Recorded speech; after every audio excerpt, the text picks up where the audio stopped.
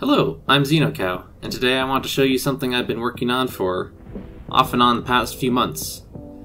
They said that cameras were illegal in Starbase, but I made one. Let me show you how it works.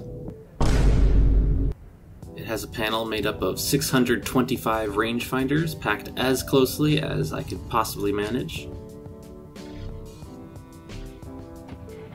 It requires 258 YOLOL chips in order to run this program.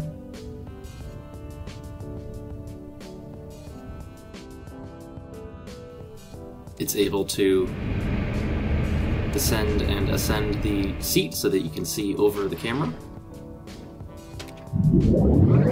Here's a temporary display so that you can look where all the rangefinders are actually pointing. Let's take a look at a some target first. Find something to look at. So again, we can lift up the seat. Maybe one of these asteroids is close enough. So right there. Turn on the slow mode so we can actually aim it.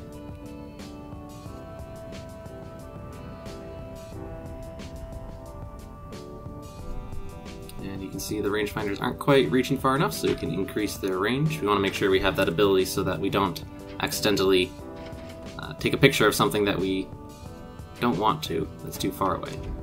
So we limit that range. So we come down here to adjust the view. It's a little bit difficult to see with the sun, but hopefully you can see well enough.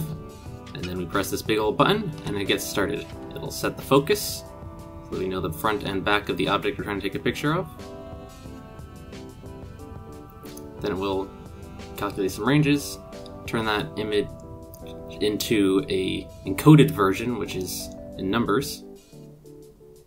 And then we're going to decode that from knowing how far each pixel is into pixels that we can then put on the screen here. Takes a bit of time.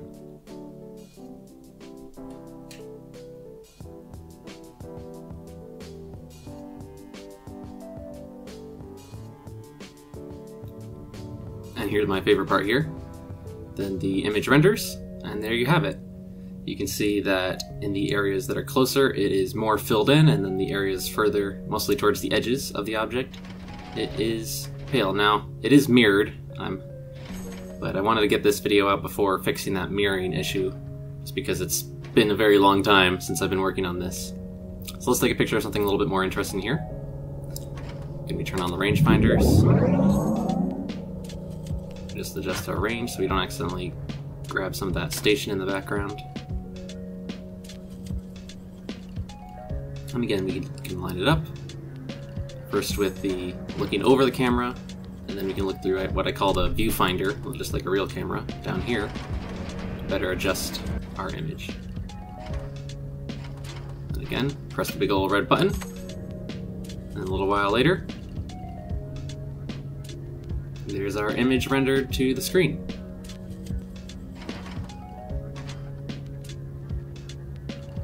Now let's try one more time with a slightly different view so we can get a little bit more detail in the image.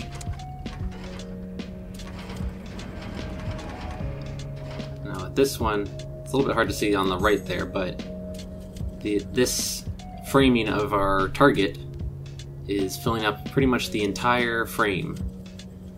One thing, unlike a real camera, this has essentially no perspective on what it's looking at. So things that are far away are just as close, look just as close as things that are close.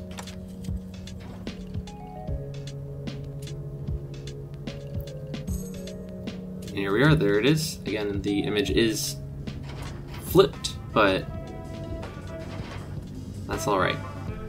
I hope you enjoyed this. If you are interested in a full breakdown of how this works and how all the program works, I'm very tempted to make a, a detailed breakdown video of all of that. But in any case, this was Xenocow. Uh, don't forget to unsubscribe and dislike. Anyway, I'm signing off now. See you later.